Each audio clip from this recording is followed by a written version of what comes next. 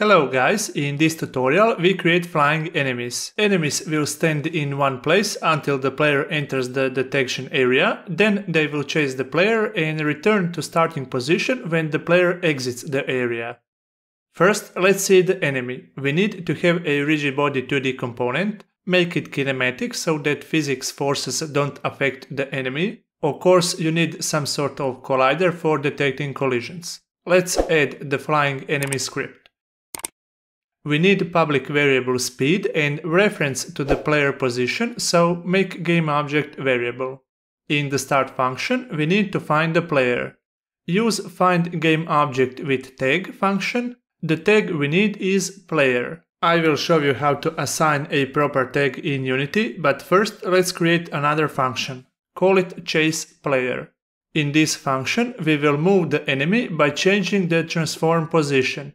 Use function vector2.move towards. First we write the position of the enemy, then position on which enemy needs to move, and that is the position of the player.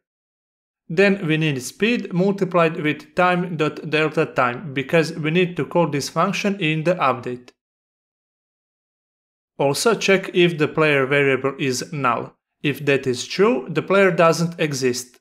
Then return and don't execute the code below. In Unity, select the player and in the inspector you should see the tag drop-down menu. Select the tag player. Now on the enemy set the speed and press play. The enemy will immediately chase the player. However, we need to flip the enemy and enable chase after we enter the trigger. To flip the enemy, we need to change the rotation on y-axis. Let's do it in the script. Create a flip function. If the position of the enemy on the x-axis is greater than the player position, that means that the enemy is on the right side. This sprite by default is facing to the left, which is a correct rotation by default, so we set transform rotation to 0 using quaternion Euler. Else the enemy is on the left side, so we need to rotate it by 180 degrees on y-axis. Call this function in the update. Now the enemy will always face the player. Next, let's create one public bool variable chase with default value false and one public transform starting point. The enemy will chase the player if the variable chase is true else it needs to go to the starting position. Create one function that will move the enemy to the starting position. Again, use vector2.move towards function. Call this function in the else statement. Great. In Unity, create one empty game object and use it as starting point for the enemy.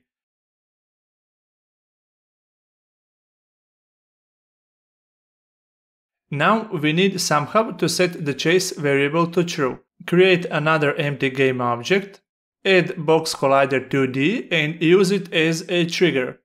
Change the size. We need to attach the chase control script. First, we need an array of flying enemies because we can have more than one. When the player enters the trigger, then for each enemy from the array set chase to true.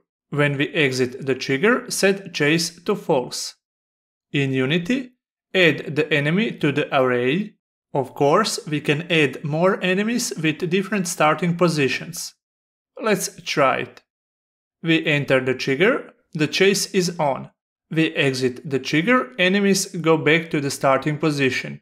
Of course, in the enemy script, when the chase variable is true, you can check for the distance between the player and enemy. If the enemy is close to the player, then you can change behavior. For example, change speed, shoot, change animation and so on. Else reset values. The health system and how to damage the player is material for another lesson. That's it guys, you can expand this concept to make more complex enemies. Thank you and see you soon!